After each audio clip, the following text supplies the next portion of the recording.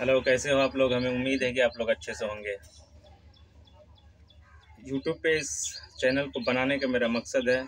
इस चैनल का नाम है health education pharmacy and lab technician आपको नाम से ही पता चल रहा होगा कि इस चैनल को बनाने का उद्देश्य क्या हो सकता है।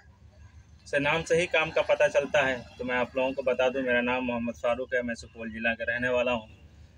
इस यूट्यूब पे मैं एक चैनल बनाने, बनाया हूँ। जिसका मकसद है कि हम आपको हेल्थ से रिलेटिव फार्मेसी से रिलेटिव बातों को आप तक पहुंचाएँ।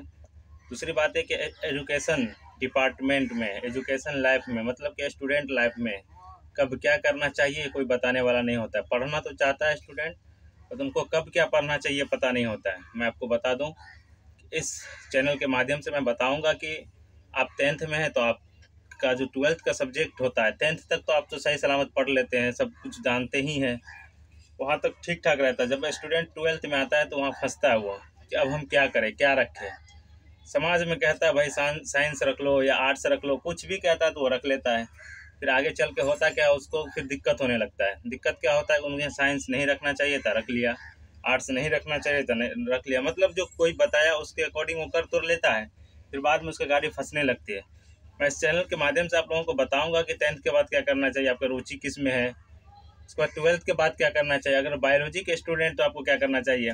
आपका रास्ता क्या होना चाहिए? आपको जल्द सक्सेस होना चाहते हैं तो आपका सब्जेक्ट के अकॉर्डिंग आपको क्या सब, आगे का सब्जेक्ट होना चाहिए क्या सिलेबस होना चाहिए? दूसरी बात मेडिकल से रिलेटिव आपका अगर नीट प्रिपरेशन करते हैं तो कैसे करना चाहिए?